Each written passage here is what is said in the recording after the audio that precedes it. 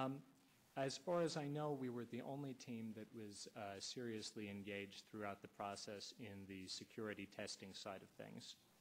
Um, within 36 hours of the system going live, um, my team had found and exploited a vulnerability that gave us essentially total control of the voting system software. Um, this included the ability to change votes and to reveal voters' secret ballots. Uh, this problem, known technically as a shell injection vulnerability, has to do with the ballot upload procedure in the system. In effect, it allowed us to remotely log into the server as a privileged user. Um, BOE launched the testbed on Tuesday the 28th, and on Wednesday afternoon, we began to exploit this vulnerability to perform a number of demonstration attacks. Um, we did several things. Um, we collected data stored on the server, including crucial secrets such as the database username and password, as well as the key the system used to encrypt ballots for privacy.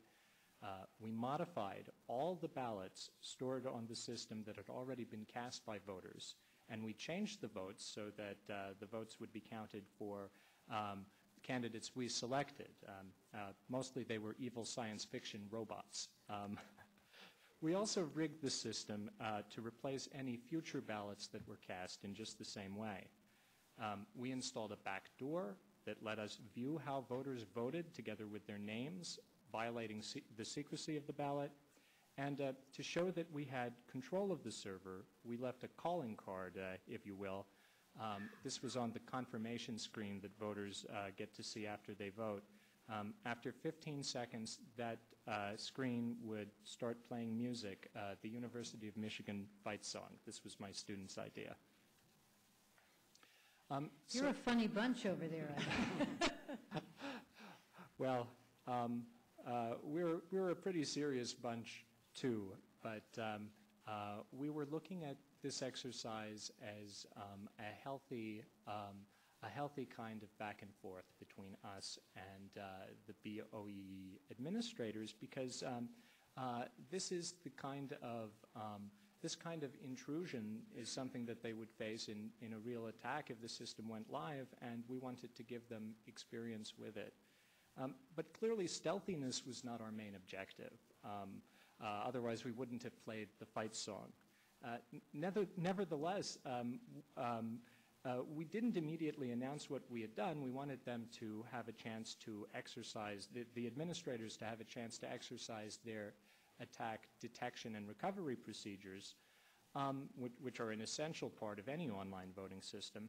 Um, but still, the attack remained active for two business days on, on the site. Um, uh, from uh, overnight on Wednesday until Friday afternoon when uh, BOE officials took down the testbed server after several testers pointed out the fight song was playing.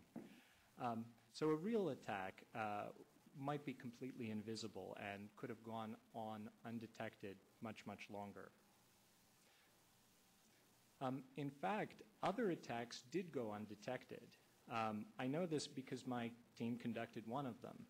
Uh, since the beginning of the test, my team has been monitoring and controlling uh, routers and switches that are connected to the BOEE pilot network. These are critical pieces of the network infrastructure.